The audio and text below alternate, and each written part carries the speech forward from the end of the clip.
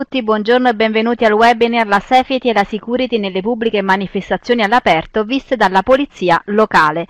Eh, questo è il nostro quinto e ultimo appuntamento online del nuovo ciclo del 2019 di webinar in materia di semplificazione amministrativa svolto in collaborazione con la Regione Emilia-Romagna. Sono Paola Pirani di Formez PA, do il benvenuto a tutti voi, come do il benvenuto anche al relatore di oggi. il commissario superiore Lazzaro Fontana, comandante del Corpo Unico Intercomunale di Polizia Locale dell'Unione Colline Matildiche, al quale a breve passerò la parola. Questo webinar, come dicevo prima, chiude il nostro nuovo percorso di eh, semplificazione amministrativa, eh, questo nuovo ciclo che è nato per la divulgazione e l'approfondimento in materia di semplificazione ed è coordinato dal Gabinetto della Presidenza Giunta regionale dell'Emilia Romagna. Questo percorso percorso fa parte del, um, del progetto PON Governance e Capacità Istituzionale 2014-2020, del progetto Supporto all'operatività della riforma in materia di semplificazione, un progetto che è stato affidato a Formez PA dal Dipartimento della Funzione Pubblica. Vi ricordo che questo ciclo, che è iniziato a settembre ed è appunto proseguito fino ad oggi, ha trattato diverse tematiche. Abbiamo parlato, come oggi stiamo continuando a parlare, di safety security, abbiamo parlato delle procedure per la gestione delle onoranze funebri, la semplificazione per imprese certificate e il software gestionale del SUAP. Nell'ambito di questo progetto sono, sono, nati tanti seminari, tanti webinar che hanno toccato le tematiche che vanno dalla conferenza dei servizi alla SCIA, al SUAP, il SUE, il commercio, la modulistica unificata e standardizzata, l'impresa, l'edilizia, la digitalizzazione per semplificare la vita al cittadino, la notifica sanitaria, gli spettacoli e trattenimenti pubblici, autorizzazione delle imprese funebri, l'ambiente e la semplificazione per le imprese certificate. Tutti questi nostri appuntamenti, tutti questi nostri incontri online e in presenza li potete trovare al nodo eventipa.formez.it 17455 e avrete tutto l'elenco di tutto ciò che è stato svolto in questo periodo. Ricordo inoltre che sempre nell'ambito di questo progetto è nata la comunità Italia Semplice, all'indirizzo http rete.italiasemplice.gov.it che è una piattaforma al servizio del personale delle amministrazioni, delle associazioni delle imprese, dei cittadini, dei tecnici ed è dedicata in particolare allo sviluppo e alla messa in rete delle competenze nell'attuazione di interventi di semplificazione. La rete Italia Semplice è stata messa a punto dal Dipartimento della Funzione Pubblica con il supporto di Formez PA nell'ambito del progetto PON Governance Progetti Delivery Unit e Supporto supporto alla semplificazione, all'operatività della riforma. Per accedere basta cliccare sul pulsante Accedi con credenziali di FP Out e si viene iscritti in automatico all'area all di lavoro Rete Italia Semplice. Per partecipare alle altre due, ovvero modulistica standardizzata e semplificata o SWAP conferenze dei servizi, basta cliccare su Partecipa e chiedere l'adesione. Una piattaforma che offre diversi servizi come guide FAC o chiedi all'helpdesk e che eh, ma fa un reminder a tutti i nostri webinar e seminari. Andiamo velocemente all'incontro di oggi, che è un percorso appunto, è un webinar rivolto al personale dell'amministrazione e dei SUOP dell'Emilia Romagna, ma anche al personale di tutte le amministrazioni e dei SUOP delle altre regioni italiane, a coloro che sono interessati a queste tematiche. Dopo l'accoglienza e l'apertura dei lavori possiamo, eh, lasceremo la parola a... Um, a Lazzaro Fontana e per poi avere il nostro spazio di domande e risposte dalle 11 in poi. Quali sono eh, gli argomenti che tratteremo in questo incontro online? L'eventuale parte istruttoria informale della Polizia Locale, l'eventuale parte istruttoria formalizzata della Polizia Locale, l'eventuale partecipazione del comandante del Corpo della Polizia Locale alla Commissione provinciale di vigilanza sui locali di pubblico spettacolo e la partecipazione del, del, comandante del corpo di polizia locale alla Commissione comunale di vigilanza sui locali di pubblico spettacolo. Parleremo poi delle eventuali verifiche in loco e controlli documentali della polizia locale prima della manifestazione e i controlli durante la manifestazione, dunque safety, sicuri, security e varie, e le eventuali segnalazioni e sanzioni amministrative e o penali in caso di violazioni. Ora andiamo a parlare del nostro strumento fondamentale, cioè la chat, nella quale voi scriverete tutte le vostre eh, domande che io riporterò al relatore e nell'ultima parte del nostro incontro ci sarà spazio per tutti i vostri dubbi e ehm, appunto avrete risposto a tutte le vostre domande. Per le domande che non si farà in tempo, Invece le potete trovare poi nei prossimi giorni allo stesso nodo di eventi piani al quale vi siete iscritti e che a breve vi scriverò in chat. Eh, altre comunicazioni di servizio, come tutti i nostri eventi online, eh, troverete la registrazione e le slide dopo l'evento. Dunque a questo punto vi ricordo come ultima eh, specifica che eh, riceverete l'attestato di iscrizione dopo la nostra attestazione solamente coloro che hanno seguito almeno il 20% del tempo e a questo punto, avendovi dato tutte queste indicazioni, non vi resta che augurare a tutti voi un buon proseguimento, un buon lavoro e lasciare la parola al nostro relatore. Buon webinar!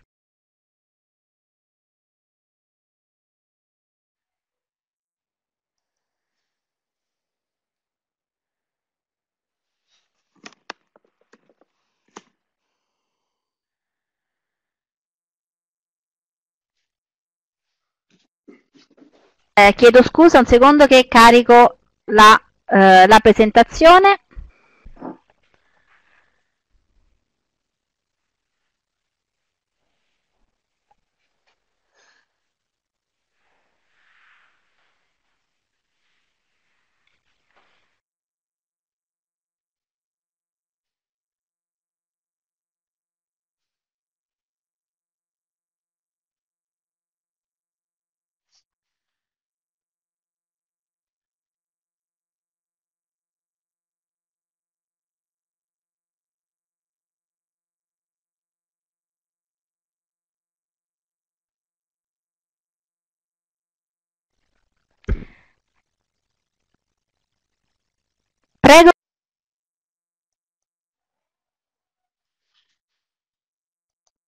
Buongiorno a tutti.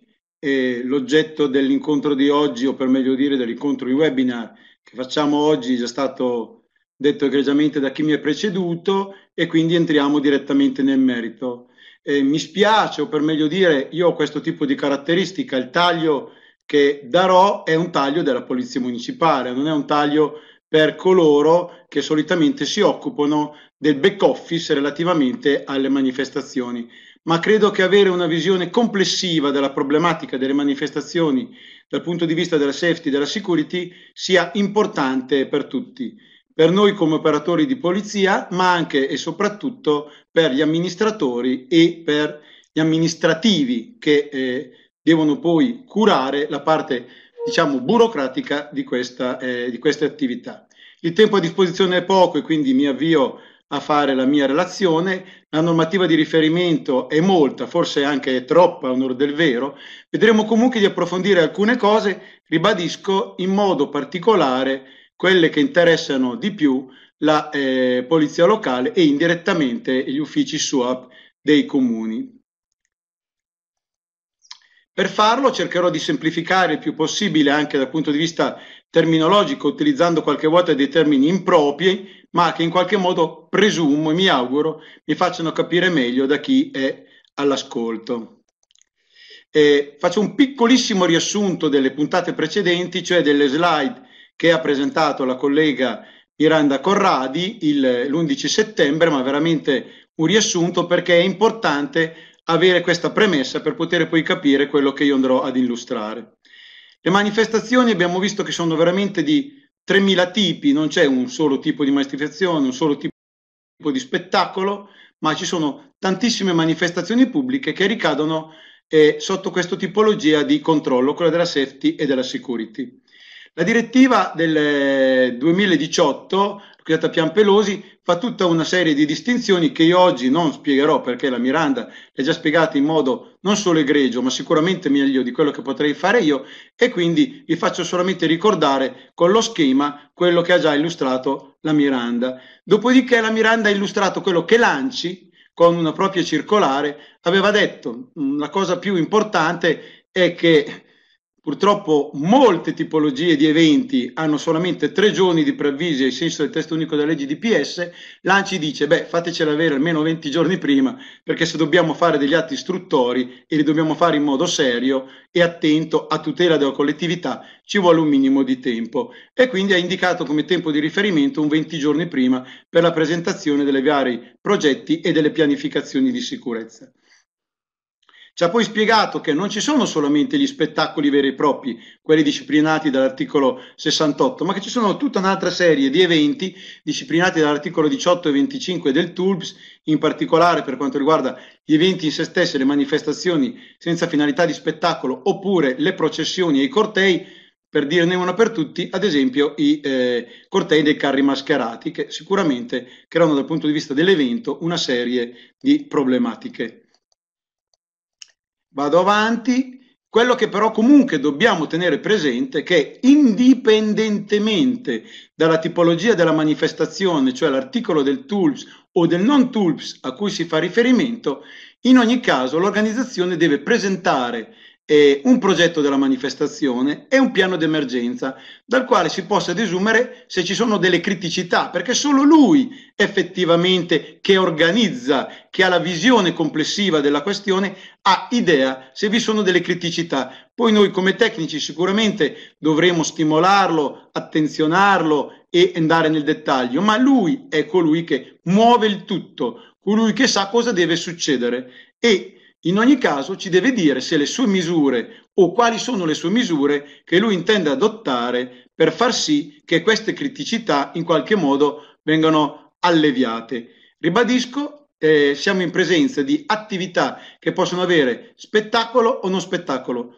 Mm, l'importante è che ci sia un evento che ha un numero di persone veramente importante o comunque anche se non veramente importante con certe caratteristiche strutturali per far sì che ricadano dentro questa disciplina. Ne dico una per tutte perché probabilmente eh, è una cosa che io non ci avevo neanche pensato. Leggendo una rivista, eh, guardando il, il, vostro discorso sui eh, cortei funebri, ho visto che c'è stato fatto uno studio specifico sui grandi funerali, perché anche un grande funerale è purtroppo, non per lui che magari fa dell'altro, speriamo su nel cielo, ma è un evento, è un evento che richiama gente, è un evento che di per sé può diventare anche un evento di turbativa, sia per ordine pubblico a seconda di chi è il defunto, ma anche per i partecipanti in quanto tale, perché appunto c'è una moltitudine di persone che lì devono arrivare e devono essere gestite in qualche modo.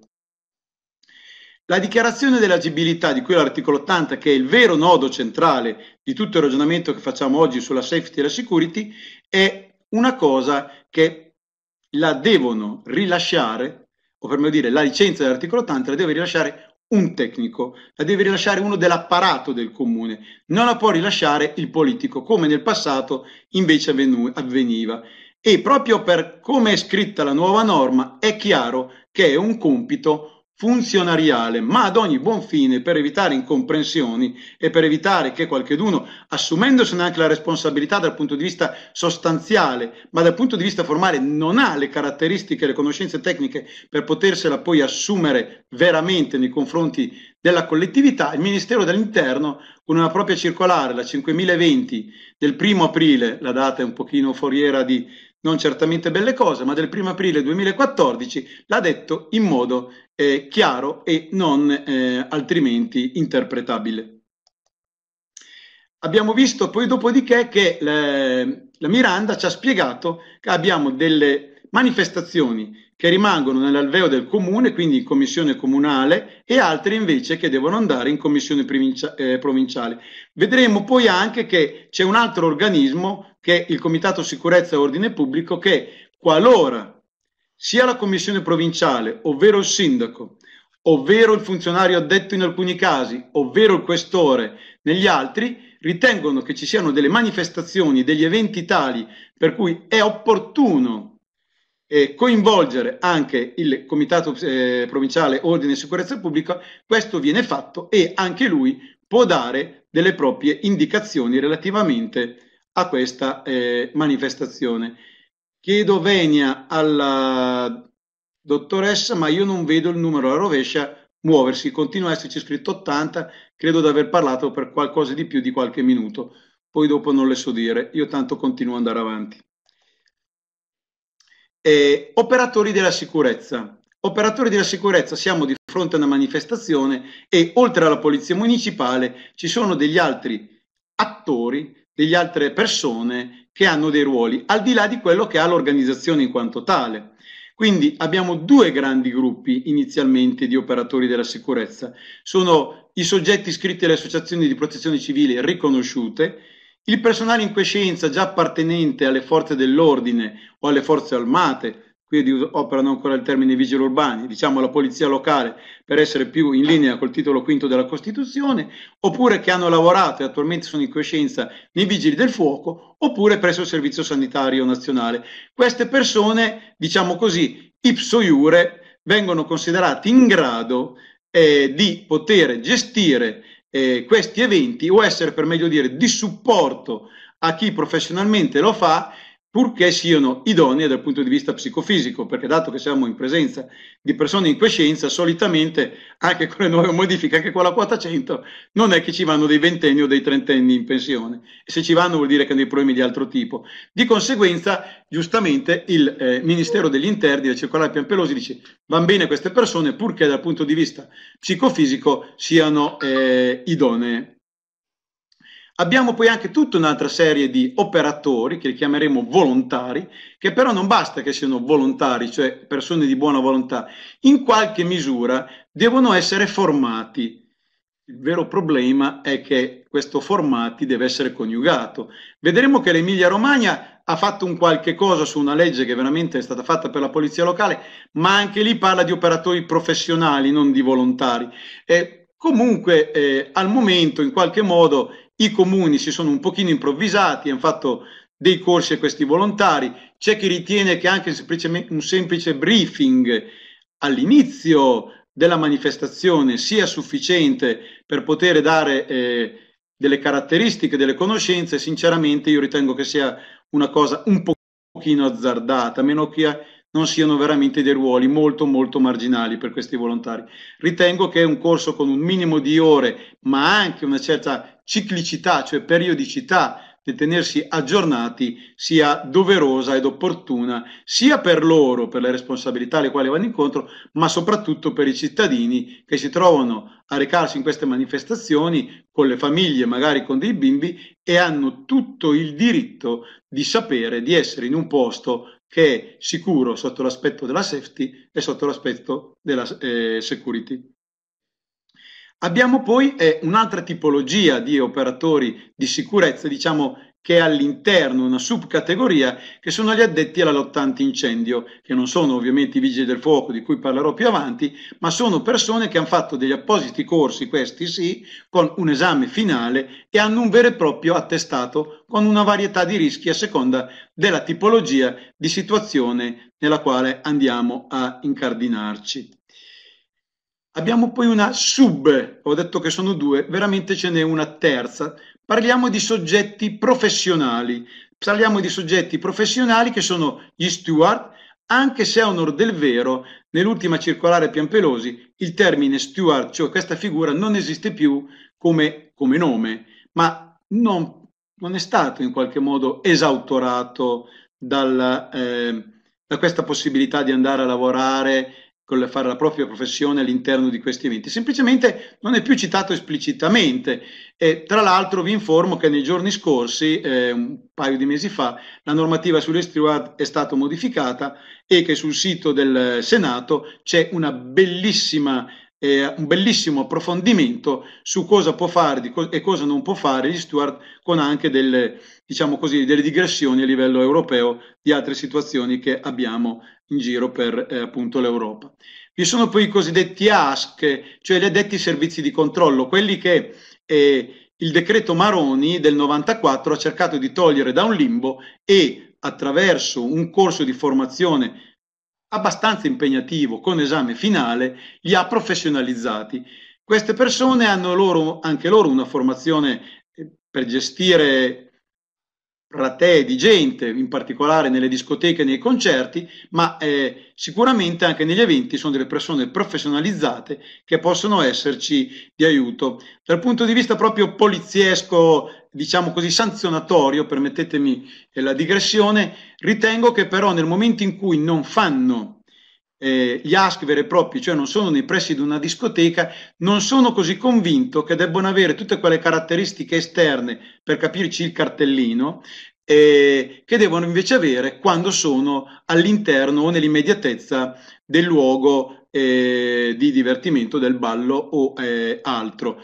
Non lo escludo, mm, lo scopriremo vivendo, come si suol dire. Certamente devono essere soggetti qualificati perché sennò eh, non possono essere con questo tipo di eh, caratteristiche. Vi è poi una terza figura che a onore del vero ancora deve essere implementata perché è stata introdotta nel luglio del 2018 nella legge regionale 24 del 2003 che è la legge quadro per la polizia locale in Emilia Romagna visto che questo webinar è fatto per l'Emilia Romagna ovviamente faccio un inciso sulla nostra legislazione in Emilia Romagna che prevede dei referenti per la sicurezza street tutor sono delle figure che nella volontà del legislatore regionale dovranno essere disciplinate con un'apposita delibera della giunta regionale dal punto di vista degli incarichi che può avere, ma soprattutto dal punto di vista della formazione, per poter gestire le aree all'esterno delle birrerie, delle discoteche, diciamo per gestire in qualche modo intelligente, con spese a carico del gestore, cioè di chi beneficia degli introiti economici, della movida perché la Movida oggi come oggi è uno dei problemi che hanno sicuramente gli organi di polizia sia locale che eh, ad ordinamento eh, statale. Su questi però ancora non possiamo utilizzarli in quanto la Regione Emilia-Romagna non ha ancora fatto la delibera attuativa, la direttiva che va a individuare nel dettaglio le materie e le ore del corso che queste persone devono fare per avere questo tipo di qualificazione. Purtroppo l'anno scorso, in agosto, agosto è sempre un mese un po' particolare per noi della Polizia Municipale, ci è arrivata una tegola. La tegola è stata la circolare del 6 di agosto che eh, ha come oggetto manifestazioni pubbliche, precisazione sulle attivazioni e l'impiego di volontari di protezione civile. Leggendo il titolo abbiamo detto, beh, la circolare Pianpelosi, che è uscita appena prima, ha detto che queste persone qua, questi volontari, possono essere di supporto a noi della polizia locale, ma anche alla polizia di Stato durante le manifestazioni, sarà entrata nel dettaglio. E invece no. E invece no. Perché innanzitutto gli dice, oh attenzione cari miei volontari, lo dice il, il Ministero degli Interni insieme alla Presidente del Consiglio dei Ministri, quindi non è che proprio lo dica il, la squadra di calcio della frazione di Quattro Castella dove io abito. Eh. Allora, eh, dice che sono escluso l'uso degli stemmi e degli emblemi, per non fare confusione. La protezione civile o è un intervento di protezione civile o se non è un intervento di protezione civile non deve usare i loghi e gli stemmi e gli emblemi che sono propri della protezione civile. Ma fino qui al limite, mm, il vero problema è che dice no, attenzione, non potete neanche usare i mezzi. E questo complica ancora di più eh, la questione. Però dà la via di fuga all'italiana, dice non si può però, però se ci vanno a livello individuale, se non ci vanno come eh, protezione civile, ma ci vanno come associazione che poi fa anche la protezione civile, ci vanno come ANC, come Carabinieri Incogenti, che tra l'altro sarebbero già abilitati di per sé, ci vanno come incendio boschivo, ma non come protezione civile in quanto tale, ci vanno come associazione. Vabbè, ci nascondiamo dietro un dito, ma di fatto questo è le, quello che dice questa circolare. Ma purtroppo questa circolare dice anche delle altre cose che sono un pochino mh, preoccupanti, perché hanno messo in difficoltà sia chi organizza le manifestazioni, i comuni e le forze di polizia, ribadisco, sia quelle ad ordinamento locale che quelle ad ordinamento statale, eh, perché dice cosa non può fare un volontario di protezione civile, anche qualora ci sia una manifestazione tale per cui venga attivato il COC e quindi si abbia titolo il sindaco, quale autorità locale di pubblica, eh, di pubblica sicurezza, questo lo è, di protezione civile, a titolo nel momento in cui attiva il COC a poter anche utilizzare i volontari, perché determinate manifestazioni possono essere tali per cui sia necessaria la presenza della protezione civile e l'attivazione del COC, dice attenzione, se siete lì come volontari di protezione civile, voi non potete svolgere una serie di attività. Attività di controllo del territorio tra le quali in particolare i servizi dei controlli o degli ingressi in luoghi aperti al pubblico, dove si tengono locali di pubblico spettacolo e trattenimento. Quindi se c'è un concerto mega, loro non possono stare davanti al concerto, non possono stare nei cosiddetti varchi, neanche nei ritornelli. Ma dici, vabbè, li metto appena un po' più avanti, quando c'è un po' meno tensione, non ci sono i biglietti da staccare, non c'è mica la gente che... Dici, no, anche questo non è possibile, perché dice, è vietato averli nelle aree di rispetto e o di prefiltraggio. Mettiamolo ancora un po' più in là. Allora, no, è vietato l'adozione di impedimenti fisici al transito dei veicoli, interdizione dei percorsi di accesso. Quindi neanche dove diciamo fermiamo le macchine, non dico le persone, le macchine. Quindi magari a un chilometro in certe situazioni e a un chilometro anche due dall'evento. No, questo come eh, volontari di protezione civile non è possibile farlo. L'importante è saperlo perché se lo fanno devono sapere che stanno facendo una cosa che non possono. Sarebbe io da uomo di legge dovrei dire che non lo devono fare.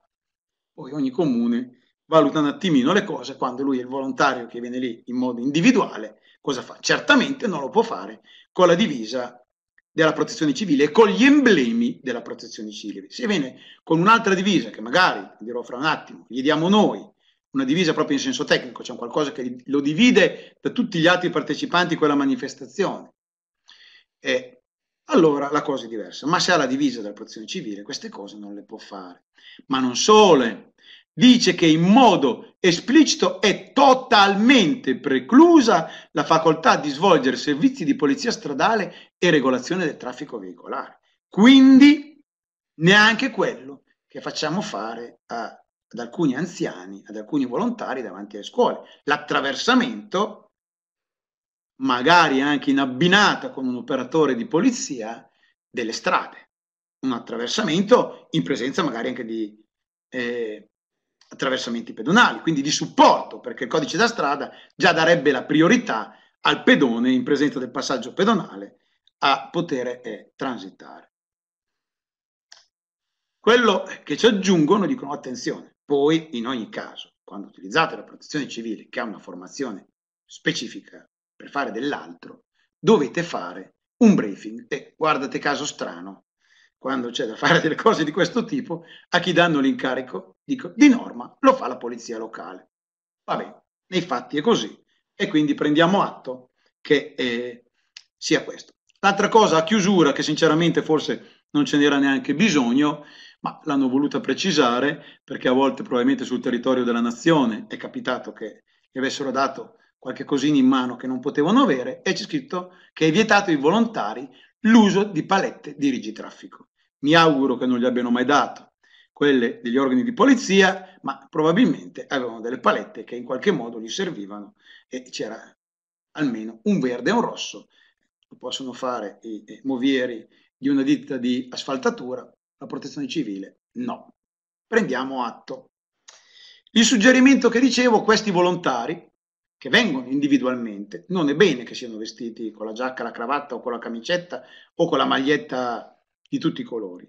È bene che in qualche modo li rendiamo divisi, identificabili in questa ottica divisi, da tutti coloro che partecipano a questo evento come spettatori, come eh, soggetti che vogliono comunque in qualche modo acquistare qualcosa se siamo in presenza ad esempio di un mercato o di una fiera, ma devono essere identificabili perché indipendentemente dal ruolo, dal luogo, dal ruolo, scusate, quindi da che tipo di operatore sei in quel momento, se sei l'antincendio, se sei altra figura, devi essere un punto di riferimento per chi è lì e magari non conosce il posto, non conosce la situazione, sia in eventi di criticità ma anche in eventi ordinari, durante il normale svolgimento di questa manifestazione.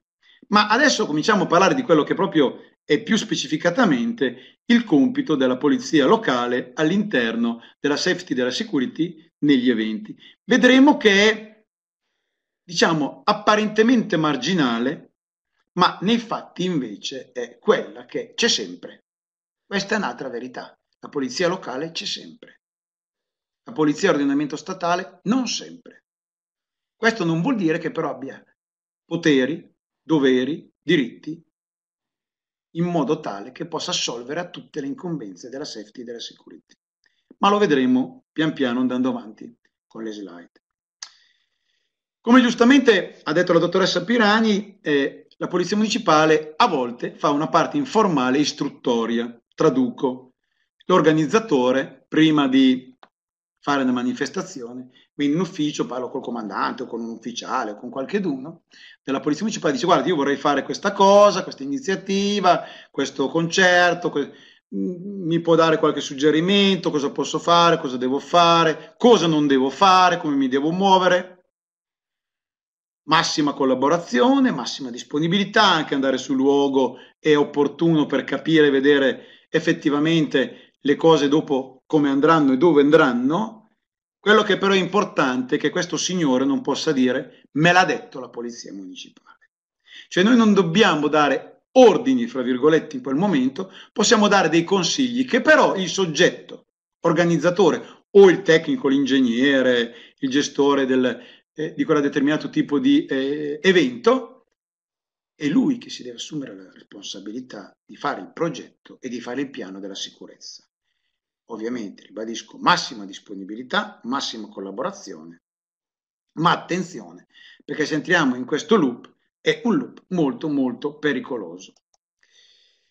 L'eventuale istruttoria formale presenta anche questa qualche rischio.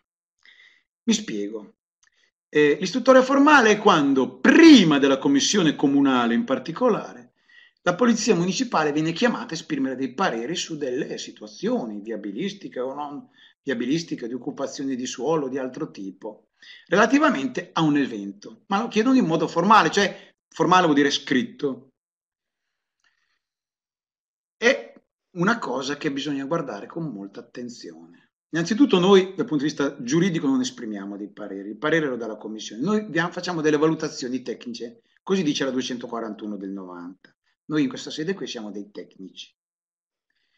E perché c'è un rischio? Perché noi dopo, soprattutto se la cosa, lo vedremo fra un attimo, va in commissione comunale, siamo in commissione comunale, almeno io come comandante di corpo, sono in commissione comunale a titolo proprio, sono un, eh, un elemento, un membro obbligatorio, non solo di diritto, ma obbligatorio di questa commissione. E anche lì dovrò esprimere un parere. E se io mi sono già espresso prima, magari senza avere la conoscenza integrale della situazione, senza avere tutti i giudizi degli altri componenti della commissione, perché questo è un collegio perfetto che si esprime all'unanimità, con tutti i suoi componenti, quando tutti hanno fatto le proprie valutazioni di parte e in quella sede lì si può dire anche qualcosina di quello degli altri, ma si ha una visione generale del problema, rischiamo poi di andare in conflitto di interessi.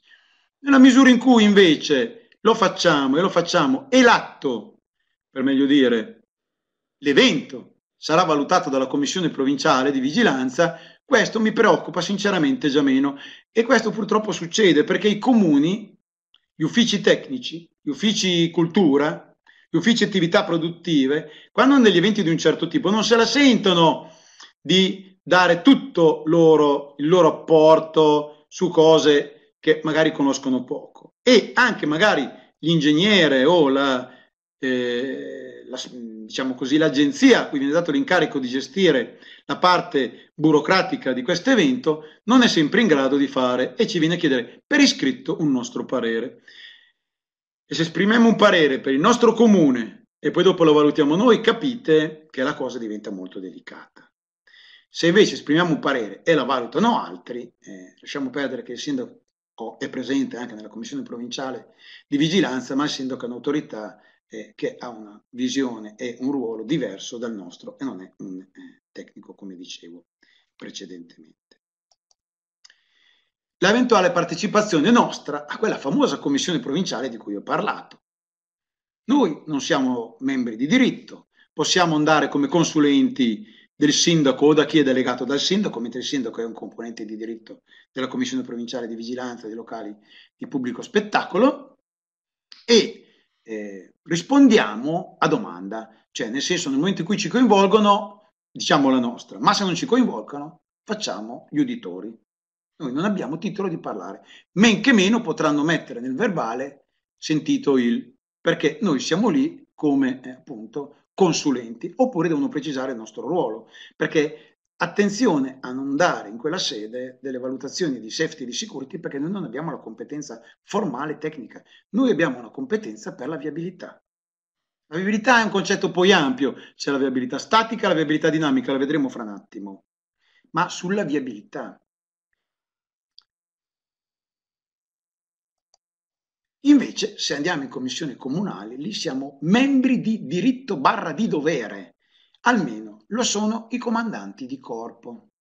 Perché i responsabili dei servizi in Emilia Romagna in teoria sono tutti gli enti che non sono eh, riconosciuti come corpo dalla regione, non potrebbero partecipare. Chi partecipa al loro posto? Questo è un problema. La norma non lo dice ci sono state eh, enti che hanno individuato un comandante di corpo di un altro ente per farlo partecipare. Ma perché c'è scritto comandante di corpo? Perché si parte dal presupposto che il comune piccolissimo, dove magari c'è un monooperatore di polizia locale, non abbia la capacità, o per meglio dire, la formazione e non abbia la possibilità di aver approfondito una serie di conoscenze tali per cui il suo giudizio sia funzionale al raggiungimento vero della Commissione, che è quella di creare sicurezza. Giusto, o sbagliato, non entro nel merito. Sta di fatto che l'articolo 141 bis del regolamento del TULPS parla di comandanti di corpo e il comandante di corpo è una figura professionale ben specifica, non è il responsabile di servizio. E ben lo sanno i colleghi della Polizia Municipale. Forse sfugge, quelli, sfugge ai colleghi del SUAP, ma quelli della Polizia Municipale la differenza fra comandante di corpo e responsabile di servizio c'è un abisso. La Commissione sarebbe bene che però ci desse una mano. Ci desse una mano predisponendo, ovviamente con il nostro supporto, una modulistica da dare agli organizzatori degli eventi che parli di viabilità, che in qualche modo obblighi il soggetto organizzatore o il suo tecnico a entrare in una logica di far sì che anche la viabilità sia un problema che devono affrontare nella pianificazione scusate spengo il cellulare, della pianificazione del, eh, scusate lo, lo, stacco fisicamente che così evitiamo di avere ulteriore noia. Eh, stavo dicendo appunto che ci deve eh, consentire di poter lavorare meglio e lui si deve fare carico sia della eh, viabilità statica che di quella dinamica e la vedremo fra un attimo. Cosa vuol dire? Vuol dire che questa modulistica che ad esempio nei nostri enti, nella nostra unione abbiamo, è fatta di due parti, una per eh, i partecipanti, quelli che in qualche modo devono essere incanalati per andare verso le zone di sosta, che devono essere all'uopo identificate e che l'organizzatore, in base a una sua presunzione, ma tutto qui siamo a livello di presunzione finché l'evento non è avvenuto, dice a mio giudizio, in base all'esperienza degli anni passati, verranno queste manifestazioni 3.000 persone, di cui 2.000 saranno in autovettura, solamente 100 con due pullman perché di più non ne abbiamo mai avuti e gli altri sono locali. Dopodiché la Commissione si deve anche inventare un coefficiente di suddivisione tra gli, le, diciamo così, i partecipanti, le persone e il, eh, il, numero di veicoli, noi se la memoria non mi inganna abbiamo adottato 2,5, cioè ogni veicolo è utile al trasporto di 2,5 persone. Vuol dire che se abbiamo eh, 1500, eh, 1000 persone che vengono in autovettura, dobbiamo avere quanti? 200, eh, 2,5, 400 posti auto. Attenzione, non vuol dire parcheggi sui generis, perché i parcheggi sui generis li abbiamo già occupati dai residenti. Vuol dire almeno 400 parcheggi in più. Dove? Dove si riesce. Non è una variante di tipo edilizio perché è occasionale, ma sicuramente dobbiamo individuare delle aree o esterne o non utilizzate ordinariamente, ad esempio se la domenica quella di un centro commerciale, eh, oppure se è inverno quella di una piscina, per far sì che diciamo lì ci possano stare delle autovetture. Le zone di parcheggio vanno individuate anche per i disabili, possibilmente il più vicino possibile al, al fulcro della manifestazione e l'organizzatore deve individuare anche la viabilità di afflusso e di deflusso da questi parcheggi. Ma non solo, deve individuare anche la viabilità alternativa, perché quando chiudiamo dei centri, dobbiamo dire alle persone che non sono interessate di venire alla nostra manifestazione che strada devono fare per andare dove devono andare, dove vogliono andare. E glielo dobbiamo dire per tempo, evitando di farli intrappolare dentro delle code se magari abbiamo dei parcheggi a pagamento e quindi questi qui inevitabilmente i parcheggi a pagamento creano un minimo di fila perché il fatto di pagare crea un rallentamento negli afflussi di entrata. Come vi dicevo, questa cosa qui deve essere talmente a carico dell'organizzatore che l'organizzatore, a meno che gli uffici tecnici e il settore operaio non si faccia lui carico di tutta questa operazione, deve anche apporre la segnaletica, sia di indicazione che quella di avviso, che quella di divieto. Ovviamente se lo fa l'organizzazione, non lo fa l'operaio del comune o il geometra eh, addetto alla manutenzione delle strade, questa persona qui non può essere una persona qualsiasi.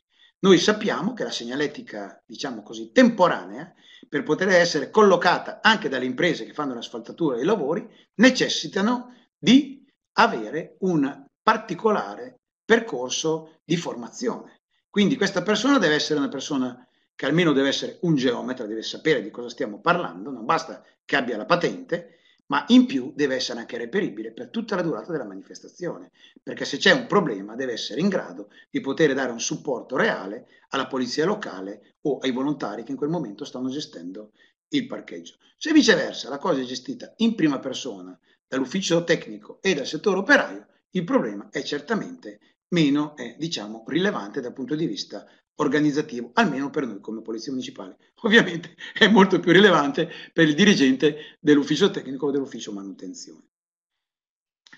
La Polizia Municipale poi cosa fa? Fa anche delle verifiche in loco eh, prima, delle verifiche documentali prima della manifestazione. Attenzione, qui invece faccio un, una piccola digressione sul, dal punto di vista terminologico. Ho usato il termine verifica in modo eh, proprio, perché la verifica è un accertare che ci siano le condizioni per.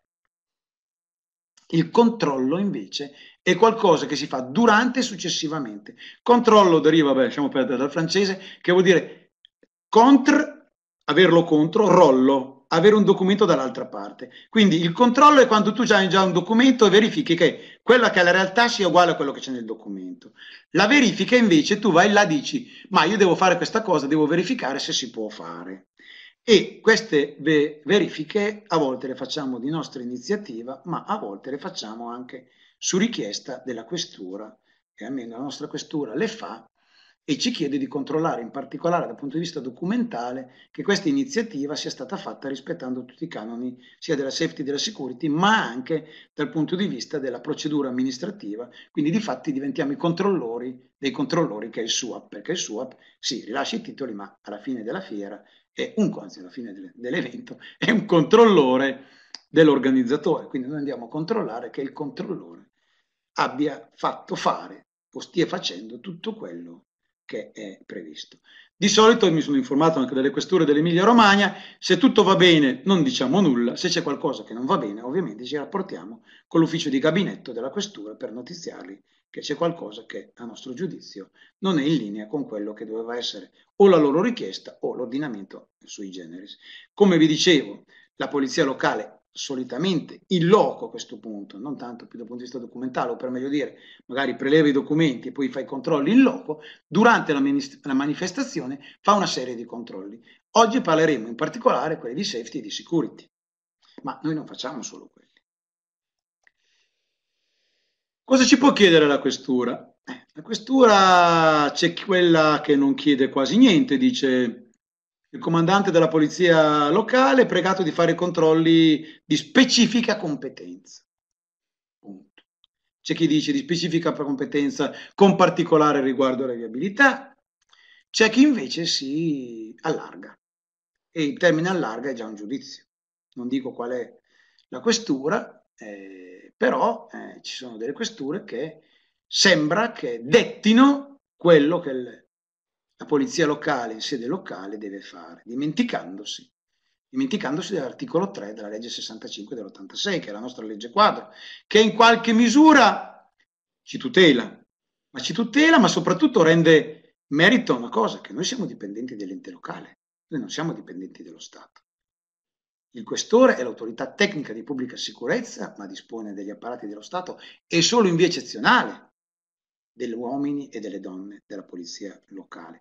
E per poterlo fare, cosa dice l'articolo 3 della legge 65? Che è la nostra legge quadro. Dice gli addetti al servizio di polizia municipale esercitano nel territorio di competenza le funzioni istituzionali previste dalla presente legge e collaborano nell'ambito delle proprie attribuzioni con le forze di polizia dello Stato inciso, previa disposizione del sindaco, quando ne venga fatta per specifiche operazioni, motivata richiesta dalle competenti autorità.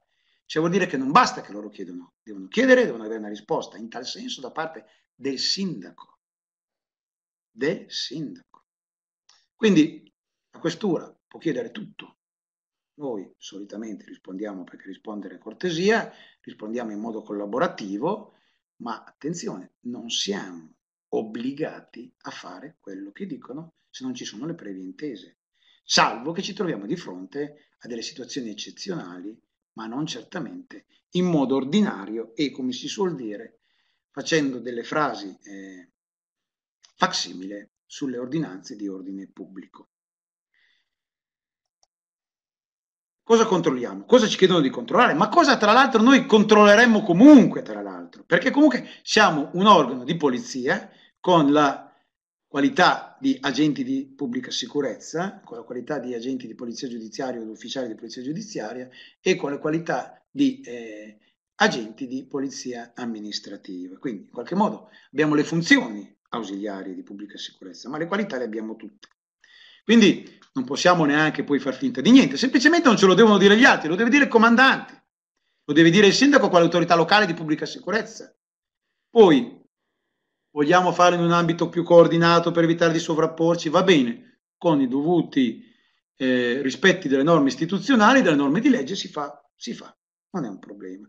Dobbiamo controllare le, le chiusure totali, la chiusura totale non è vietata in una manifestazione. Quello dice, ah, non si può chiudere perché c'è, devono darle... No, chiusure totali si possono fare. Nel momento in cui nel piano è stato previsto ed è stato con, eh, condiviso che quegli accessi che vengono lasciati sono sufficienti per garantire la sicurezza della manifestazione, l'accesso ai veicoli di emergenza, essi siano ambulanze o mezzi di vigili del fuoco, nulla vieta di chiudere fisicamente una pletora di accessi che renderebbero complicato il governo e il controllo di chi accede con veicoli in particolare, perché purtroppo per quanto riguarda la security abbiamo ben presente cosa è successo nel recente passato in altre parti, per fortuna non d'Italia ma d'Europa, con veicoli lanciati a velocità importanti sulle folle che erano presenti in loco durante delle manifestazioni.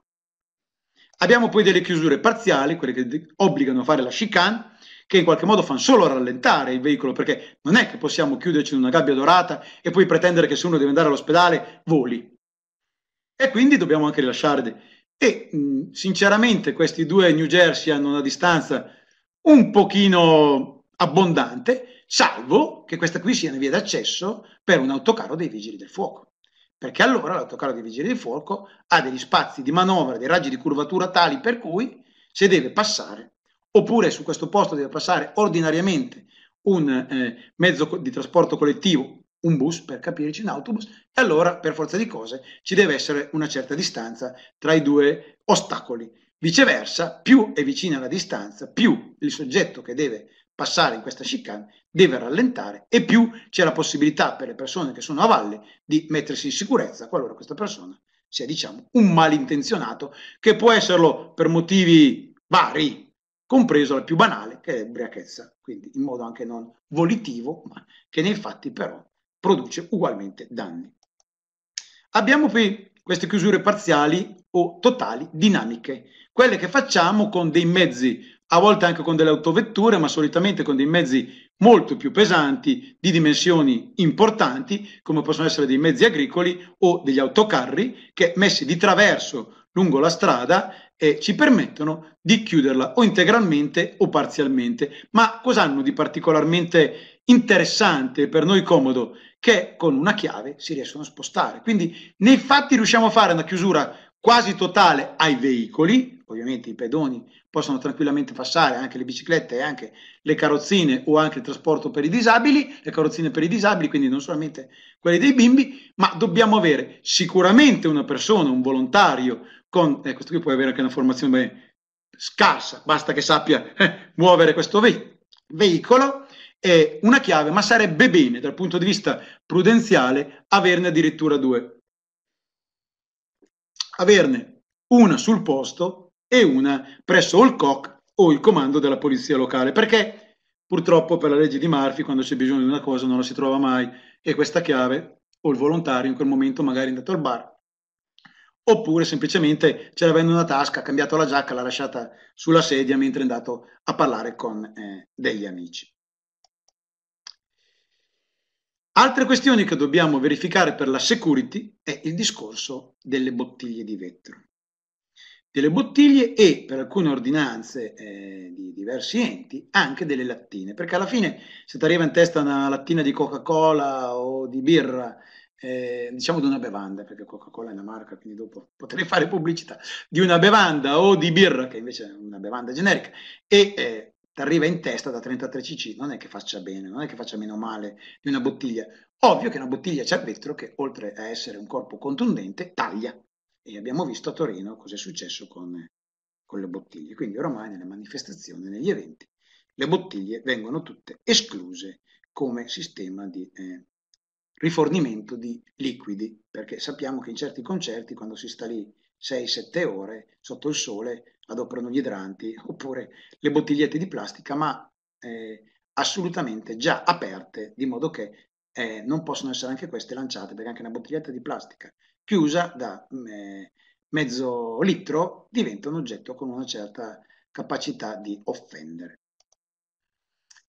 Potremmo farne delle altre, ma andiamo avanti perché abbiamo anche la security da vedere. La safety, scusate. La safety invece l'esigenza è il contrario. Mentre prima avevamo degli ostacoli, nella safety dobbiamo verificare che le strade di deflusso e di afflusso siano libere, il più libere possibile, in particolare quelle dorsali che individuiamo come dorsali per gli spostamenti dei mezzi di emergenza, vuoi che siano le ambulanze, vuoi che siano i mezzi dei vigili del fuoco. Quindi dobbiamo trovare un equilibrio e quando non troviamo l'equilibrio, differenziare la cosa, tenere luoghi dove applichiamo la security e quindi impediamo, rendiamo difficoltoso l'accesso e il transito, e luoghi invece dove il transito deve essere tranquillamente fluido, senza nessun tipo di ostacolo. Perché? Perché deve andare all'ospedale, perché deve arrivare un mezzo che c'è un incendio, perché c'è un infarto, perché c'è qualcosa che eh, deve essere movimentato rapidamente. Anche qui abbiamo la necessità di mettere segnaletica, perché a volte vengono servizi di ambulanze di altri comuni, di altre eh, associazioni. Quindi è importante che anche qui ci sia tutta la segnaletica del caso per indicare eh, queste vie diciamo, di fuga e di accesso. Abbiamo poi il divieto non tanto di bere la birra dentro una bottiglietta di vetro, ma di bere gli alcolici e diverse ordinanze prevedono il divieto in particolare durante gli eventi sportivi e durante eh, gli eventi musicali di bere i superalcolici o gli alcolici o tutti questi tipi di bevande da, da oltre lo 0, 0 qualcosa, direi 0,4 di, eh, di alcol, comunque tutti gli alcolici possono essere vietati per motivi di safety all'interno di una determinata o anche nelle sue immediate adiacenze, perché è ovvio se io prendo la, la bottiglietta di eh, whisky, la prendo immediatamente 10 metri prima del varco, probabilmente se entro dopo il concerto, entro dopo alla partita di qualcosa, non è che faccia un effetto diverso se la prendo dentro, se la prendo, se la prendo fuori. Dopodiché la Polizia Municipale controlla anche che gli estintori, quelli nel numero e nell'allocazione prevista dal piano di emergenza, ci siano. Possibilmente che siano anche con i cartellini e in corso di validità relativamente sia all'involucro sia alla valvola sia al tipo di estinguente e all'estinguente in quanto tale come, diciamo così, capacità di estinguere perché è ancora in validità come eh, prodotto da poter utilizzare. Oltre agli estintori, ovviamente, ma qui è un problema, diciamo che nel momento in cui vengono chiamati loro ci sono, salvo che vengano chiamati in un altro momento sulla contingenza, che ci sia il gruppo delle vigili del fuoco, mentre il, il volontario, diciamo così, l'addetto antincendio deve quasi sempre esserci, i vigili del fuoco ci sono dei parametri numerici dopo i quali è obbligatoria la presenza di un gruppo di vigili del fuoco, prima no. Quindi gli eventi di ridotte dimensioni non, eh, non ne necessitano. Ma questo non è un problema della polizia municipale, perché noi guarderemo il piano di eh, sicurezza e vedremo se c'è scritto che ci devono essere, verificheremo se ci sono, se c'è scritto niente, vorrà dire che se ci sono è un di più e se non ci sono ne dovremo fare a meno. Semplicemente una cosa abbastanza eh, lineare. Eh, invece quello che dobbiamo verificare sia nella parte ante, nella durante un po' meno che diventa complicato, che i volontari antincendio siano quelli che sono stati indicati e che abbiano fatto il corso e abbiano l'attestato. Ovviamente questa cosa qui solitamente si fa prima della manifestazione, dopo si tengono semplicemente i nomi e l'organizzazione comunica che al posto di Pinco Pallino viene Tizio Caio con altro titolo idoneo, oppure che dice guarda, te ne ho comunicati 15, era obbligatorio solo 12, e due sono rimaste a casa perché hanno avuto l'influenza e quelli che c'erano sono già sufficienti comunque perché ce n'è uno addirittura in più di quelli che erano dovuti. L'importante è che abbiano il titolo che li rende idonei per fare questo tipo di eh, attività antincendio. Abbiamo poi i servizi sanitari che si possono espletare o con pattuglie piedate o attraverso l'utilizzo di un'ambulanza o addirittura con dei eh, punti di eh, primo soccorso. E questo è tutta roba che è indicata all'interno della pianificazione di emergenza che si fa in base a delle tabelle particolari che doppiano degli algoritmi a cui noi semplicemente dobbiamo prendere atto di quello che il tecnico incaricato dall'organizzatore ha scritto e fatto e detto e noi dobbiamo semplicemente leggerlo e prenderne eh, atto e verificare che ci sia. Tante volte il servizio ambulanziale c'è e non è previsto, ma come si suol dire, nel di più il meno ci sta sempre. Vado un po' più di corsa perché vedo che il tempo sta diventando eh, tiranno. Un'altra cosa che dovremmo verificare, che sarebbe bene che anche noi ne fossimo dotati, io adesso entro la fine dell'anno farò in modo di acquistarne almeno uno, è quello di avere un megafono, perché le manifestazioni più importanti hanno solitamente un sistema interfonico via cavo, via wireless, che parla con delle trombe collegate ordinariamente al, ai punti luce presenti durante la manifestazione. Ma se ciò non dovesse esserci, almeno uno o due megafoni in, in, mano all'organizzatore e in mano alla polizia municipale ci devono essere, perché se devi gestire fino a 20, 30, 50, 100 persone, quando urli forse ci riesci, ma se comincia a diventare di più la gente, le distanze sono importanti, ci vuole uno strumento di amplificazione tale per cui i soggetti che sentono capiscono in modo ben distinto qual è la tua volontà e cosa devono, cosa devono fare. Il costo è veramente irrisorio, quindi ritengo che tutti i corpi di polizia municipale si, si debbano dotare di uno o due eh, megafoni di quelli manuali, perché quasi tutti li abbiamo, ma li abbiamo incorporati nei sistemi delle bitonali, delle sirene dei veicoli, ma a volte il veicolo in quel posto lì non riesce a accedere e quindi è opportuno averne invece il classico megafino, quello che usavamo nei campeggi o perché ha fatto attività studentesca quando si facevano i cortei studenteschi. I safety potremmo controllare altro, ma noi abbiamo una cosa molto particolare che è mista fra la safety e la security. Come si suol dire, Houston, noi abbiamo un problema. E qual è il problema? Abbiamo il problema dell'interazione fra la safety e la security, che è un go stop e un stop go. Mi spiego. La circolare del capo dello Stato, del capo della polizia del 2017, la circolare Gabrielli, dice il modello organizzativo delineato presuppone lo scrupoloso riscontro delle garanzie di safety e di security necessariamente integrate. Facilissimo. Eh?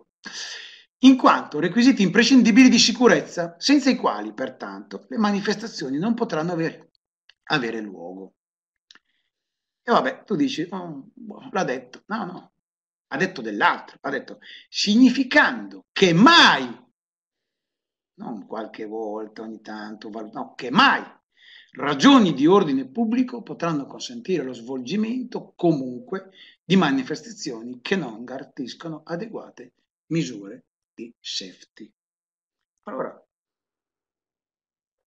la cosa diventa un pochino impegnativa perché se la manifestazione deve ancora iniziare, beh, forse ci riusciamo a fermarla, se non abbiamo tutta la safety, diciamo, che ci deve essere.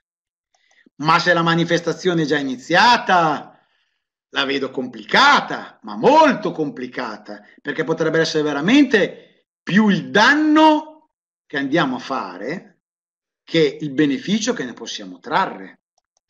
E in ogni caso, come si suol dire qua, et docet, et telefono casa. Qui si prende il telefono, si chiama le, l'ufficiale di riferimento della questura, chi è l'ufficio di gabinetto, e gli si dice, cari miei signori, visto che nell'ordinanza del pubblico c'è scritto di notiziarvi di ogni emergenza, io vi notizio di questa emergenza. Ditemi cosa c'è da fare. Tra l'altro lui dovrebbe essere lì, o comunque dovrebbe venire lì, o comunque dovrebbe aver incaricato un, un ufficiale dei carabinieri per assolvere questi compiti, non noi. Non noi. Poi nell'emergenza, in un'ottica di tutela della collettività, della comunità locale dove noi lavoriamo e che ci paga lo stipendio, facciamo quello che si deve fare e che si può fare. Però ci sono certe situazioni in cui effettivamente la situazione non è di semplicissima gestione e quindi ET telefono questura Poi cominciamo a fare quello che invece facevamo anche prima, che abbiamo sempre fatto. Cominciamo a fare i controlli di titoli autorizzatori per effettuare l'attività, quindi diciamo, le licenze, che possono essere quelle per gli spettacoli, quindi dall'articolo 68, possono essere quelle per i pubblici esercizi dall'articolo 86 o dalla 267 oppure e del 285 oppure dalla regionale 14, a seconda se siamo in Emilia Romagna o da qualche altra parte, verifichiamo i prezzi per la tutela del consumatore, perché se c'è un evento importante dove c'è della vendita di prodotti, anche nei concerti vendono le magliette e anche chi vende le magliette deve rispettare la normativa per tutelare il consumatore.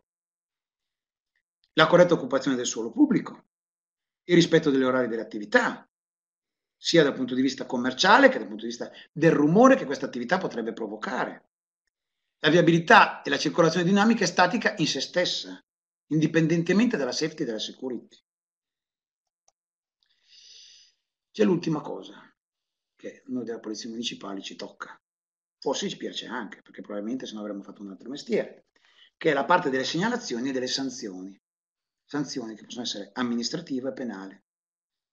A seconda se ovviamente ci sono state delle violazioni. Se siamo stati così bravi da riuscire a creare le condizioni perché nessuno abbia violato niente, meglio. Succede qualche volta che siamo stati così bravi, qualche altra volta anche se noi siamo stati bravi, qualche dono è birichino dall'altra parte, oppure non ci siamo spagati bene, oppure le norme sono tali per cui c'è della confusione.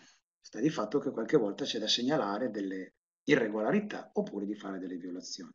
La questione è abbastanza ingarbugliata perché, perché se è relativamente semplice nel campo amministrativo farlo, negli eventi, perché individuare il trasgressore e l'obbligato insolido non è così complicato, non è così difficile. Il trasgressore è appunto colui, lo dico per eh, i colleghi del suo, che trasgredisce, colui che materialmente fa l'azione.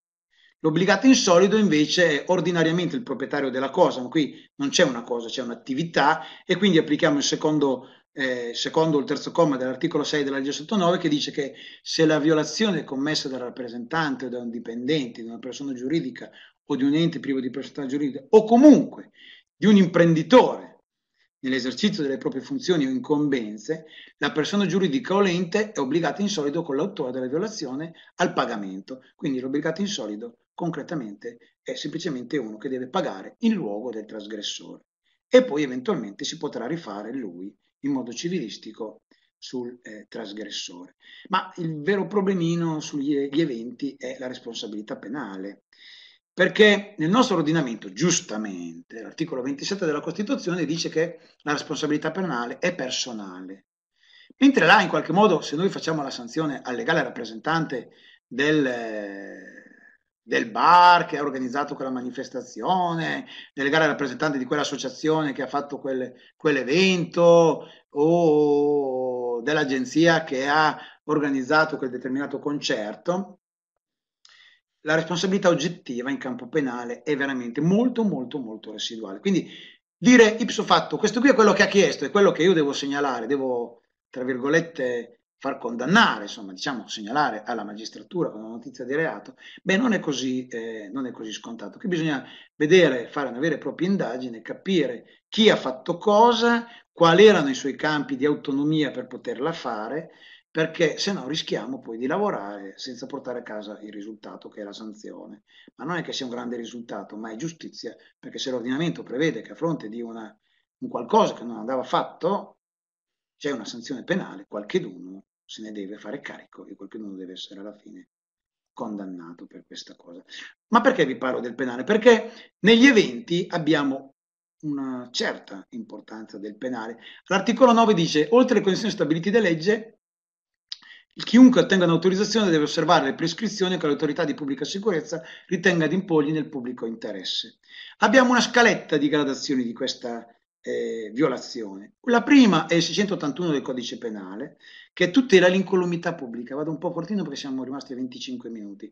Che tutela l'incolumità pubblica, che è un bene giuridico molto molto importante, che è tutelato appunto che dice chi non rispetta le prescrizioni osservate dall'autorità a tutela dell'incolumità pubblica è, è punito con l'arresto fino a sei mesi e via dicendo. Quando è che siamo in questi casi? Quando ad esempio superiamo la capacità di affollamento, il numero delle persone presenti, la capacità di deflusso, cioè le, le, porte che devono far andare via le persone sono di dimensioni più piccole di quelle che devono essere, la staticità delle strutture non è garantita, gli impianti elettrici non sono fatti a norma, i, eh, gli, i negozi, gli autonegozi con le bombe di GPL non sono stati montati e costruiti nel modo che devono essere, oppure non c'è il rispetto del numero degli operatori di sicurezza che ci devono essere, quindi gli addetti antincendio e le altre figure. E questo è un ragionamento molto delicato.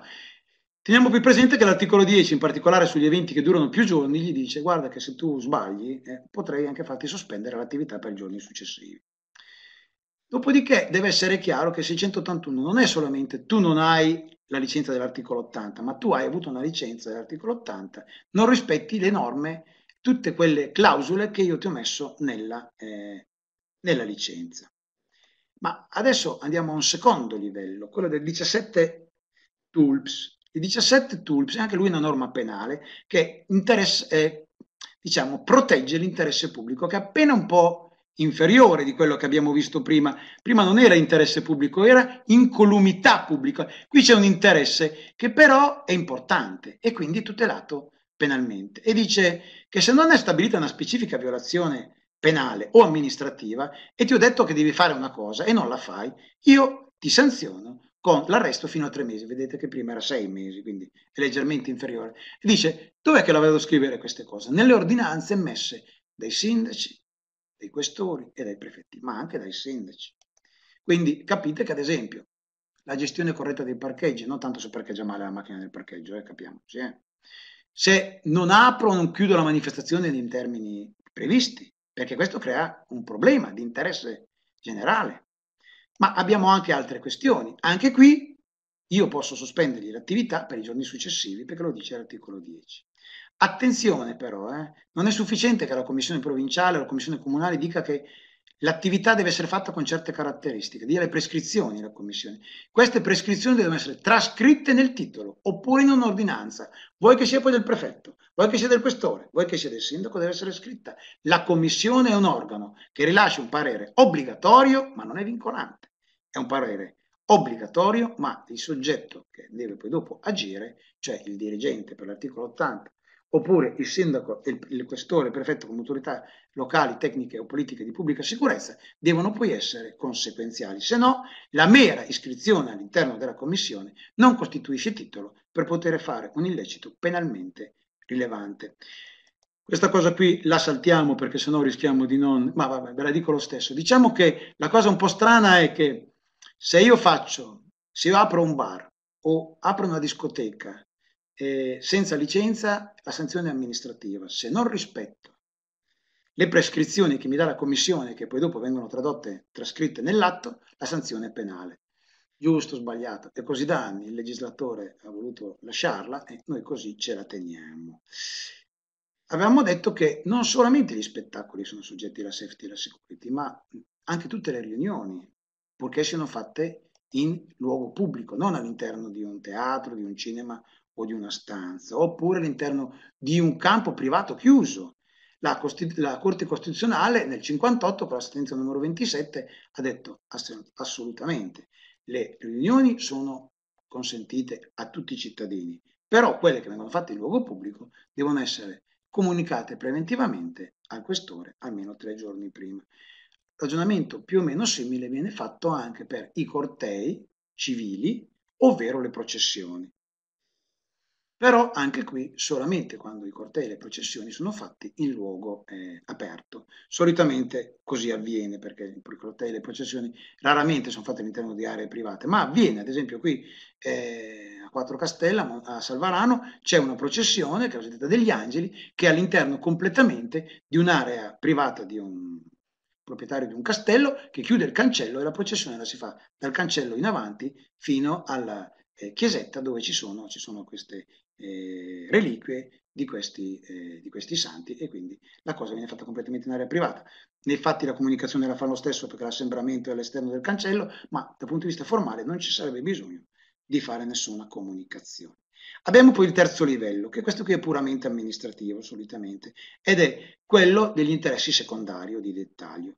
Ma non è che siano poi sempre così secondari, perché se noi troviamo all'interno di una fiera degli operatori su aree pubbliche, cioè degli ambulanti che sono senza licenza o che vendono cose, eh, ad esempio, non, eh, non, consentite, dobbiamo in qualche modo, anche in questo caso, eh, sanzionarli. Quindi dobbiamo controllare il, la viabilità, l'esercizio, i commerci ambulanti, la sosta, ma la sosta facciamo i classici divieti di sosta, non è che andiamo a denunciare qualcuno perché ha messo, a meno che non metta la macchina in un luogo veramente inguardabile, ma eh, solitamente applichiamo il eh, codice della strada. Dove invece c'è un diverso eh, diciamo, atteggiamento eh, altalenante è ad esempio sulle bottiglie, perché eh, qui nessuno ha la verità in tasca, però c'è chi ritiene che questo precetto sia eh, un precetto da sanzionare amministrativamente, c'è chi invece fa o il 650 o altre norme del, eh, di rilievo penale. L'importante è che non facciamo una cosa durante una manifestazione e quella dopo il contrario, almeno come singolo organo di polizia, direi anche come vari organi sarebbe meglio mantenere una posizione costante nel tempo, l'ideale sarebbe a livello di singola provincia. E vado in eh, conclusione, sono stato più bravo del previsto. Ringrazio Formez per avermi dato questa opportunità di parlare indirettamente con voi, poi adesso vi leggerò per capire quali sono le vostre eh, perplessità alle quali io spero di riuscire a dare risposta, se non riuscirò a dare risposta nell'immediato mi documenterò e spero di dare delle risposte anche coerenti con quello che ho detto, ma soprattutto coerenti con l'assetto normativo. E oggi però, che sia chiaro, abbiamo parlato della safety e della security in eventi autorizzati, non un rave party, abusivo, che è tutto un altro, tutto un altro mondo, va affrontato in un'altra, eh, in un'altra maniera. E ho detto quello che è doveroso e legittimo fare, non quello che forse dovremmo o che altri vorrebbero che facessimo. Io ho dovuto dire, perché il ruolo me lo impone, quello che possiamo e che non possiamo fare. Ma eh, non è sempre detto che risponda alle esigenze della collettività e in una qualche misura anche degli organizzatori, ma noi possiamo muoverci solo ed esclusivamente all'interno delle leggi che ci governano e che altri, i nostri amministratori e il nostro governo eh, ci dà. Grazie dell'attenzione, come vi dicevo adesso apriamo il question time, spero di essere in grado di rispondere alle vostre domande che mi auguro siano eh, coincise e semplici, ma soprattutto che le abbia già affrontate, che così riesco a dare una risposta, se no eh, rinvierò e spero che le risposte che sarò in grado di darvi siano anche risposte operative, nel senso che vi servono poi. Allora, intanto che diamo modo oggi, al commissario di poter leggere tutte le, le, diverse domande nella, nel box apposito, ehm, vi do una comunicazione di servizio, ovvero ho sentito eh, poco fa la dottoressa Corradi e a breve avremo le risposte al suo webinar. Eh, chiedeva scusa per il ritardo, ma ha avuto un inconveniente di, di salute che è tutto rientrato fortunatamente, tutto è andato bene, dunque a breve ci saranno le risposte anche eh, di quel webinar. Um, altra cosa, volevo eh, far presente tutti i ringraziamenti e tutti i complimenti che ci sono ora nella chat per, eh, per eh, appunto, la trattazione che si è appena eh, che si è appena tenuta e così intanto eh, diamo ancora qualche attimo al docente per poter poi rispondere eh, rispondervi. Eh, ricordo che quelle a cui non verrà data risposta poi comunque le troverete tutte sulla solita pagina di Eventi PA. A questo punto rilascio la parola al, al commissario, prego.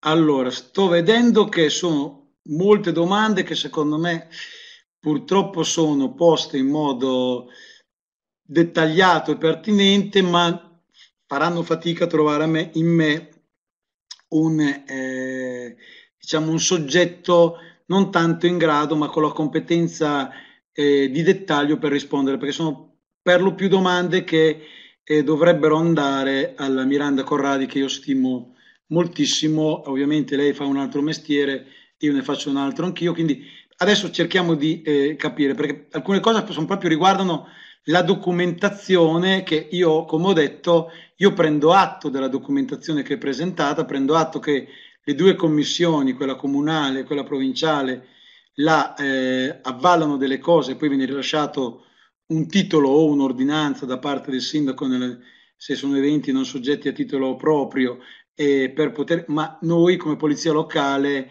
eh, andare nel merito dei calcoli di quante persone, quante non persone, non, non entriamo. Sto leggendo adesso le varie domande. Allora, per gli impianti elettrici temporanei realizzati in cascato da motogeneratori in occasione di un evento commerciale su area pubblica, somministrazione di alimenti e bevande, dovuta alla dichiarazione di conformità alla regola d'arte.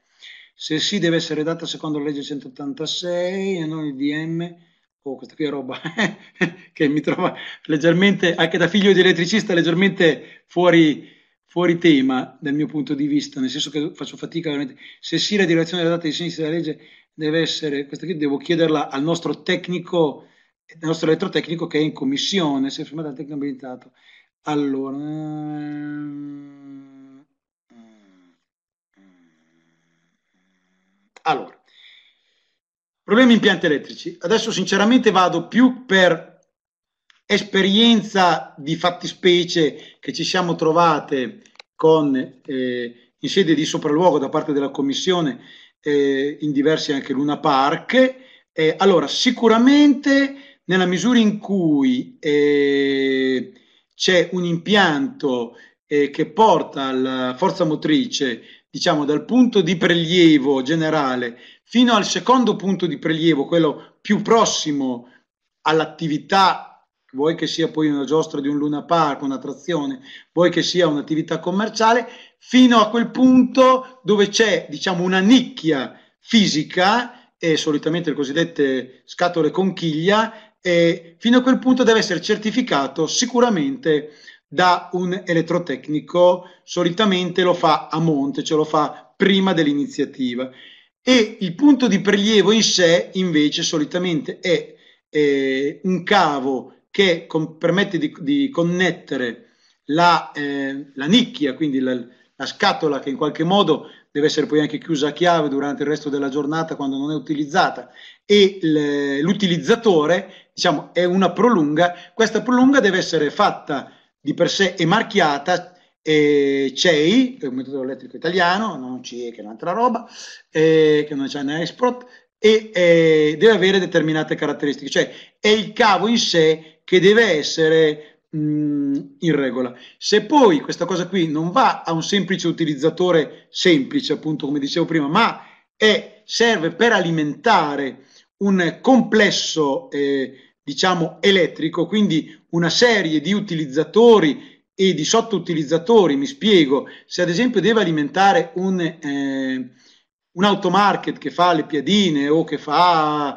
eh, le patatine fritte e tiene a dei riscaldatori con delle resistenze elettriche invece che a gas perché magari ritiene che il gas sia troppo pericoloso e c'è un impianto elettrico proprio sopra al, all'automarket, questo automarket a sua volta deve avere una eh, certificazione di impianto, quindi diciamo così che la parte volatile è semplicemente la prolunga che mette in connettività la nicchia conchiglia con eh, l'apparato, oppure la nicchia conchiglia con la presa di forza di quella determinata giostra o di quella determinata attrazione per eh, il Luna Park. Direi che a questa domanda mh, mm, mi pare di avere risposto. Teniamo presente, ribadisco che io sono solo figlio di un elettricista e ho assistito a dei tecnici eh, appunto dei tecnici, dei periti eh, elettromeccanici che eh, durante i sopralluoghi nelle commissioni che controllavano il, il Luna Park davano parere a voce alta e conseguentemente ho appreso questi tipi di eh, informazioni, ma non ho una competenza, quindi prendetela quello dovuto, mollette solo come neanche un consiglio, una un derelata. Vi riporto quello che ho sentito. E ehm, quando si richiamano alle feste di paese, che... allora, quando si, si richiamano alle feste di paese e quelli che cercano di dirigere il traffico e, dirotto nella macchina dove decidono loro. La mia domanda è: si può rifiutare il cittadino di dirigersi dove ci indica il personaggio della protezione civile? In cosa, in cosa si va incontro se ci si rifiuta? Allora, eh, domanda interessante. Domanda interessante. Allora, eh, diciamo che comunque in ogni caso quel personaggio che sta rifacendo quel compito di deviazione del traffico è una persona incaricata da noi. Non è un pubblico ufficiale, eh, direi che però un incaricato di pubblico servizio sì. Quale potestà ha nei confronti di questa persona? Allora, il codice della strada dice che solamente le segnalazioni che siano esse semaforo sostitutive, diciamo così, quindi per eh, muovere i flussi eh, all'interno di un'intersezione, oppure di deviazione, eh, devono essere fatte con certe caratteristiche anche messaggistiche col corpo, con le braccia e via dicendo, ma devono essere fatte da un soggetto qualificato e quindi a mio giudizio deve essere un organo di polizia. Se però c'è la segnaletica verticale o orizzontale, orizzontale provvisoria ovviamente e verticale altrettanto provvisoria e il soggetto è solamente di supporto, di eh, ripetizione, di spiegazione di quella che è questa segnaletica, beh, il soggetto che viola comunque ha violato l'articolo 7 del codice della strada o quell'altro articolo che era il 41 secondo dei casi e, e, è sicuramente sanzionato, nel senso che il, L'incaricato, che in quel momento è lì della protezione civile o volontario che dir si voglia, ci farà due righe di relazione e noi dopodiché eh, chiameremo il soggetto, gli, gli chiederemo il perché si è comportato in questo modo e ritengo, almeno per quanto mi compete, che la sanzione non gliela toglie nessuno. Poi se non è d'accordo farà ricorso a chi di dovere ma se c'è la segnaletica eh, verticale e il soggetto ha semplicemente ripetuto una cosa, o anche ci fosse semplicemente una transena di traverso anche senza il divieto, beh, lui chi è? È vero, questo qui, per cui dicevo che devono avere una qualche forma di divisa che identifica questa persona come un qualcosa che non è un cittadino qualunque, perché queste cose qui anche il giudice di pace, quando si trova poi uno che dice guarda, mi è arrivato uno con un giacchettino arancione, aveva scritto sopra eh, servizio supporto alla manifestazione e mi ha detto che, eh, beh, perché lei non l'ha fatto? Ah, ma perché io faccio quello che mi pare. Credo che la cosa stia, nella risposta stia già nella, nella domanda. Allora, è possibile utilizzare i volontari del servizio civile? Eh, questa qui è una domanda purtroppo oziosa. Eh, L'ho spiegata per il Ministero degli Interni e per la Presidenza del Consiglio dei Ministri, la protezione civile in quanto tale, come organizzazione, non può essere utilizzata salvo che venga attivato il COC per determinati tipi di manifestazioni che richiedono la presenza della protezione civile, perché questo tipo di evento è tale per cui quel territorio, quella frazione, quel comune, quella zona non riuscirebbe in modo assoluto a sopportare un impatto che quella manifestazione provoca. Quindi è opportuno e necessario utilizzare la protezione civile, ma perché diventa un intervento di protezione civile. Non per niente viene attivato il COC con tutto quello che ne consegue. E discorso diverso è utilizzare le, le persone, gli uomini e le donne della protezione civile per compiti non propri. Abbiamo visto che la circolare è non interpretabile, è chiara, non condivisibile forse, ma non lascia spazio a grandi eh, interpretazioni, però dà la via di fuga, ti dice, io non vengo come appartenente alla protezione civile, vengo come Jeff, vengo come eh, antincendio boschivo e eh, vengo con i mezzi dell'antincendio boschivo, non della protezione civile e quindi a questo punto eh, agisco in un'altra veste, con un altro vestito. A questo punto lo possiamo usare. Eh, gli diamo, non gli diamo rimborso spese, eh, questi sono altri problemi che io al momento non ho eh, modo e non voglio neanche affrontare, eh, però eh, ci sono associazioni che a fronte di determinate prestazioni hanno dei contributi per fare le loro attività, tra l'altro tutte emerite eh, a, fin di, a, fin colletti, a fine collettivo, per cui se c'è le disponibilità. Il vero problema è che a volte purtroppo abbiamo dei volontari che loro o delle associazioni che sono loro che dicono che non possono. E quando chiedono, ma io lo faccio solamente se c'è un operatore di polizia locale o di Stato, un carabiniere o un'altra figura istituzionale, un polizia provinciale che è lì nell'immediatezza, credo che la richiesta sia non solo legittima, anche pertinente, sinceramente anche pertinente. Non vuol dire che loro non possono stare da soli, perché se c'è semplicemente da guardare una transenna ferma e da spostarla perché ad esempio i residenti possono entrare e gli altri no, beh, lì una figura di polizia sinceramente sprecata. Ma nell'attraversamento di una statale, perché questa manifestazione in modo a volte un pochino discutibile è metà da una parte e metà dall'altra, Beh, credo che un organo di polizia nelle vicinanze o immediatamente chiamabile qualora ce ne sia la necessità sia non solo opportuno, ma doveroso. Non si può lasciare tutta una manifestazione con degli attraversamenti di statale o addirittura della gestione di intersezioni senza nessun presidio ufficiale, che poi sia polizia locale o polizia di ordinamento statale, è un altro discorso, ma qualche dono ci deve essere lì nella manifestazione, perché sennò i volontari, se sono tutte bravissime persone, magari professionalmente sono capaci di fare le, le segnalazioni stradali meglio di tante persone che lo dovrebbero fare professionalmente, però non credo, al di là del divieto della circolare, che sia eh, opportuno fare ciò. Andiamo avanti.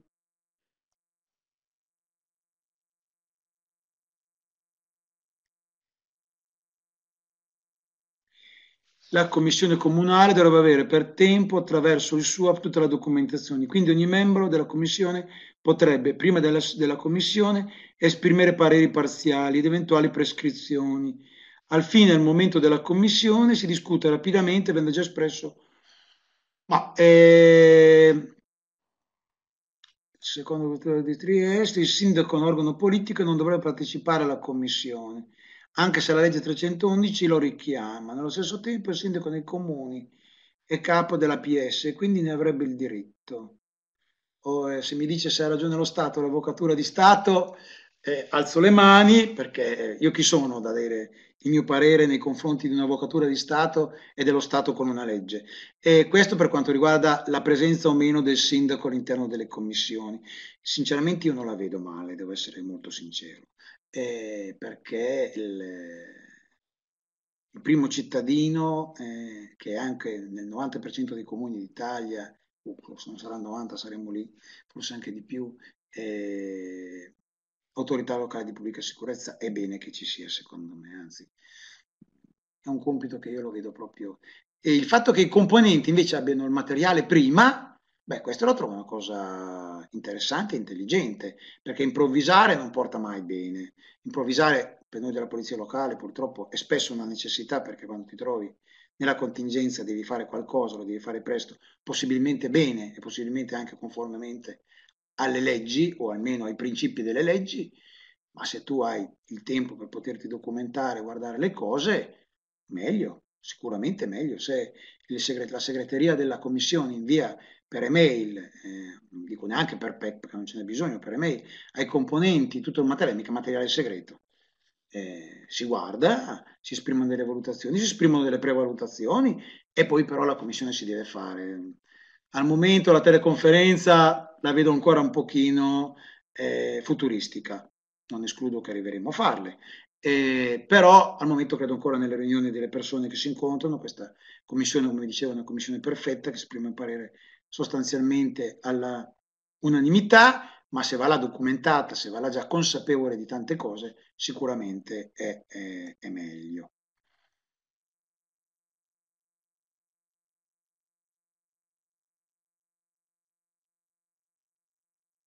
È legittimo in caso di manifestazione vietare per più giorni la circolazione anche ai residenti? Sì. La circolazione veicolare? Sicuramente. La circolazione pedonale è una cosa un po' più delicata, ma la circolazione veicolare sicuramente. Ovvio che la cosa eh, va fatta con, con buon senso.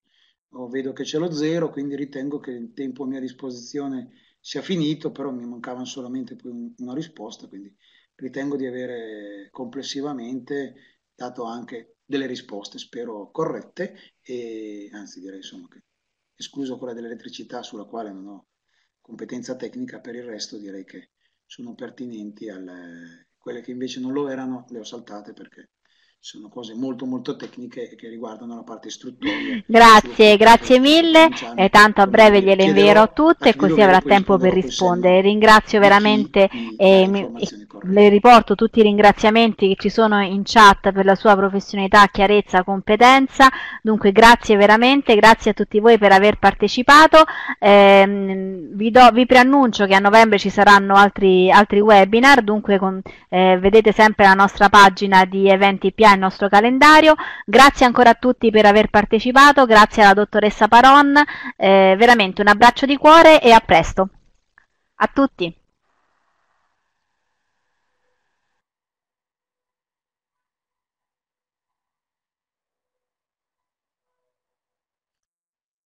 Volevo ringraziare anch'io la Regione che oltre a Formez che mi ha dato questa, questa opportunità perché credo che sia importante eh, che eh, si mettano in comune le esperienze, magari anche eh, non sempre mh, diciamo formalmente corrette, ma metterle in comune permette